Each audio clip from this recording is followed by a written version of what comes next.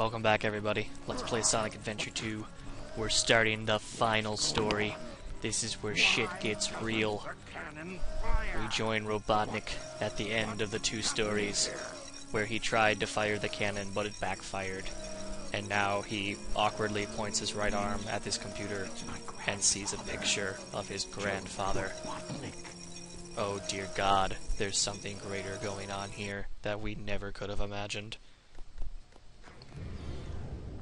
What's that? That vibration? Wait, wait. Someone is coming. You. You haven't given up yet? Oh, it's all over for us. What do you I mean? I just received a message from my boss. This space colony ARK is currently approaching the Earth at an incredible velocity. Those two are so fucking bow-legged. Like, holy shit. Maybe because their shoes What's are like so fucking large. This is a death sentence for every human being on Earth. If my calculations are correct, the space colony ARK will impact the Earth in 27 minutes and 53 seconds. All of you will be destroyed, along with your beloved planet Earth.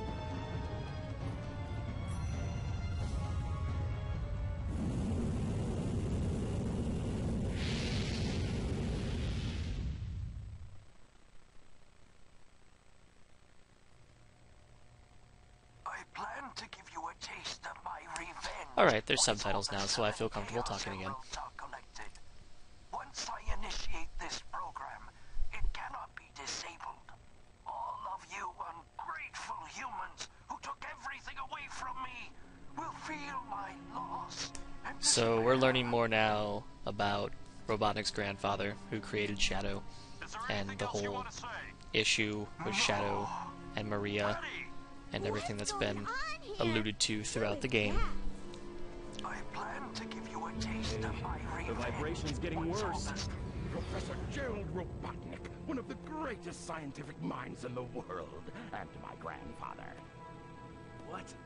I knew you were behind all this. Stop it right now, or else. I'd have done this a long time ago if I had the chance. What do you mean?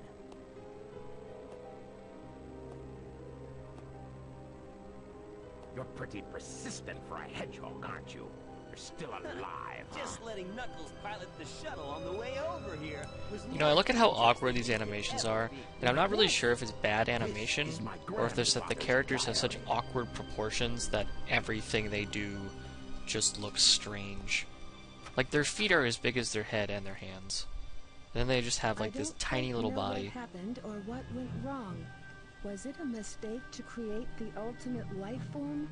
I thought it would be something that would benefit mankind, but then the military guards landed on the colony that day. They were sent to destroy the research project that I had been working on. My colleagues at the research facility, my granddaughter. I think that's just the main problem hope you are all with safe.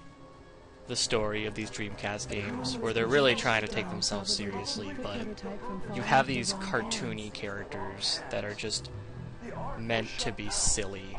Like, honestly, if I could compare the Sonic the Hedgehog characters to something earlier, it'd be Disney characters.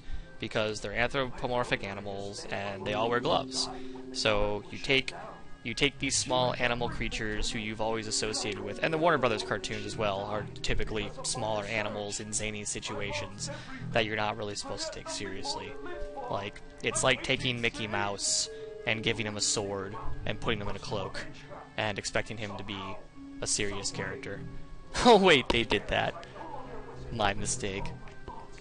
I hate video games.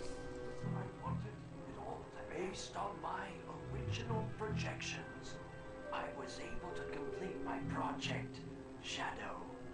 I designed its mind to be perfect, pure. I will leave everything to him. So, he talks about Project. Shadow, which he seems to have created after this incident happened. So I think he's referring to the Bio Lizard.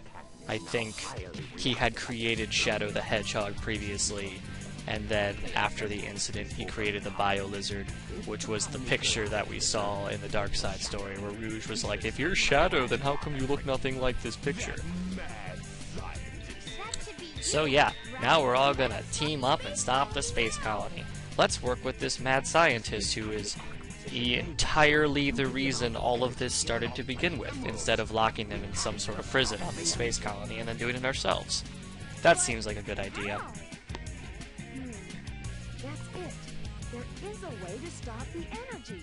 We have to use your emerald. Rouge recalls the conversation Knuckles had with her when he said that the Master Emerald can stop the Chaos Emeralds, or can neutralize them. If I use this, I The Master Emerald can apparently be resized at will.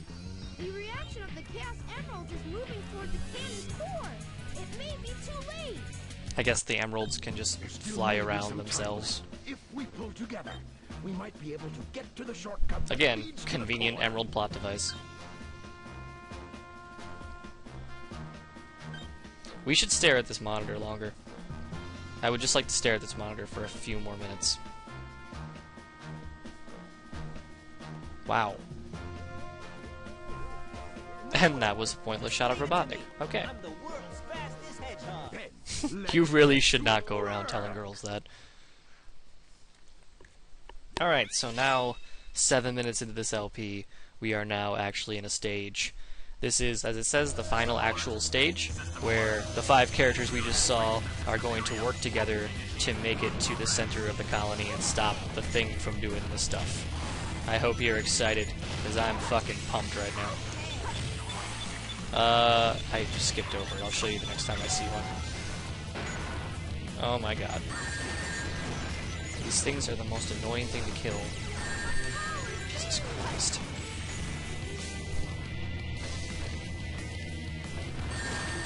Finally. The machine has reached its limit. If only I wasn't so foolish and brash to make a robot out of an airplane.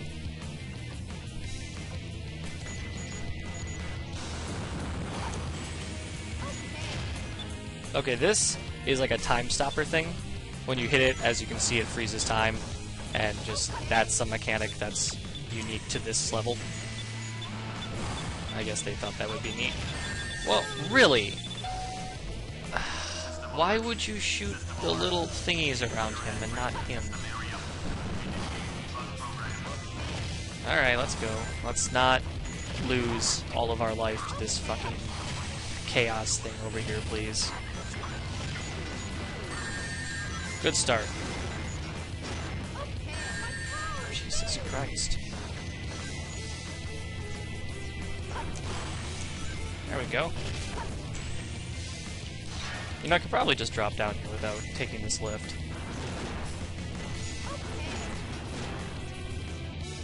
Yeah, I imagine I can hover and call these. If I die again, I'll try that out.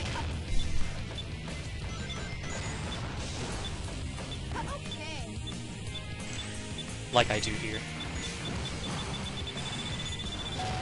Hey, that worked the way I wanted to this time.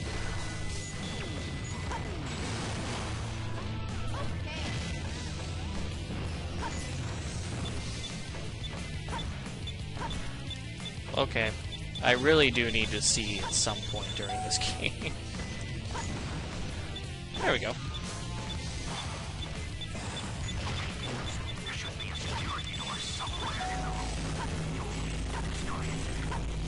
Oh yeah, that's what Tails and uh, Robotnik do. They uh, they have these security doors at the end of their level that you just have to blast open.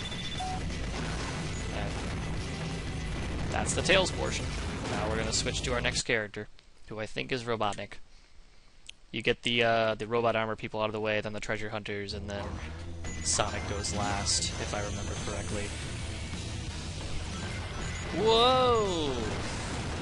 Whoa! Okay, kill it. Thank you. Oh god! I guess I kind of walked right into that.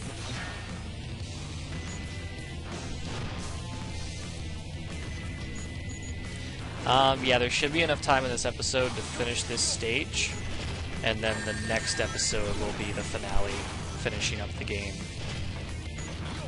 This whole thing is just very cutscene intensive, and that's why it takes it's gonna take two episodes. Which, compared to the rest of the story in this game, the final part isn't terrible. Like, I mean, we've learned of stuff about Shadow throughout the game that we're now gonna put into closure. Uh, you got the whole actions set in motion 50 years ago that are now coming together today, and our struggle to stop them. Because I don't know. I mean, it's not the greatest plot development in the world, but it's infinitely better than anything we've seen in this game so far. Ah!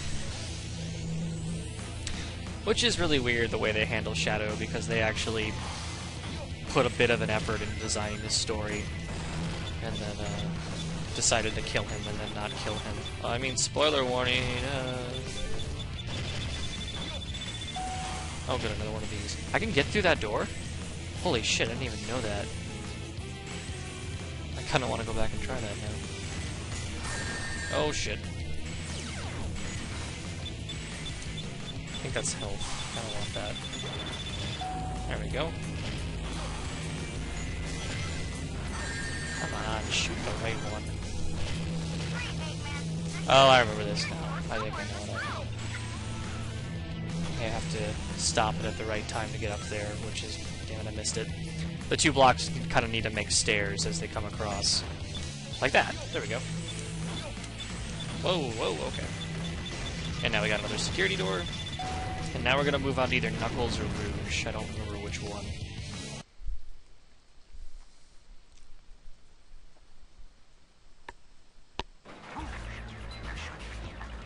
Alright, some Rouge the Bat action here. That's right, for some reason she's draining liquid out of something. I don't I don't really know what the, I guess it's like core liquid. This core functions off of liquid. I guess. I don't I don't know. I've never built a core before. I can't really tell you that much. Where'd it go? Oh god. Get in there. Whoa, whoa, whoa! Settle down, Rouge. Damn it. Is that a... There's a Chao key in this level, wow.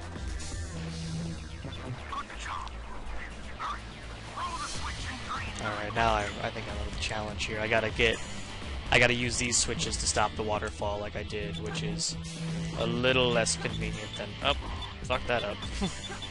than I would like it to be.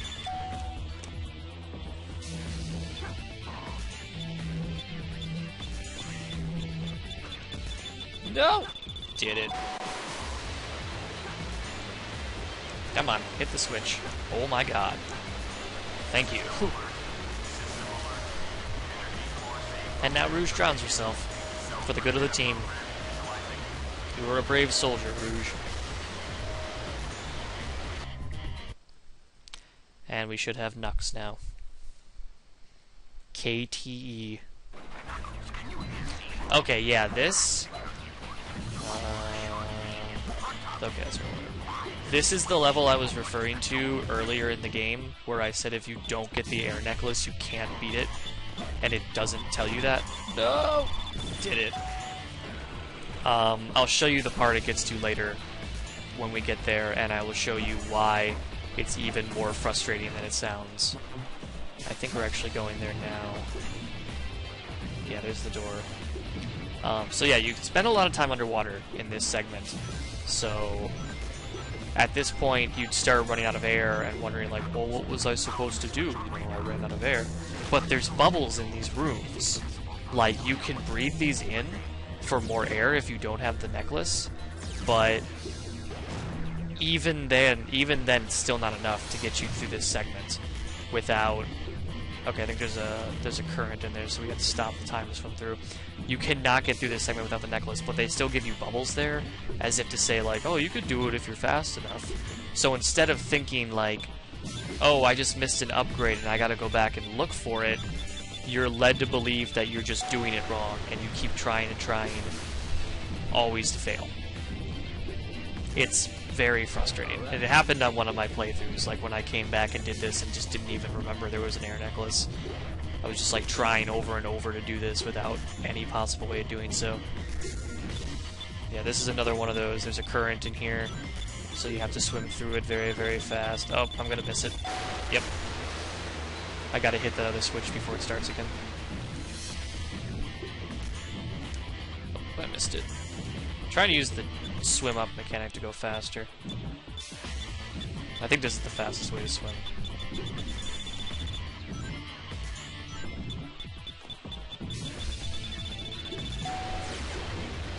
I did it! And I think, yep, there's a switch. Uh, yeah, now we have the Sonic portion, and we're gonna finish this episode a little late, but I think we're making some good progress. If I didn't die as Tails. Sonic with some more impossible hand grinding.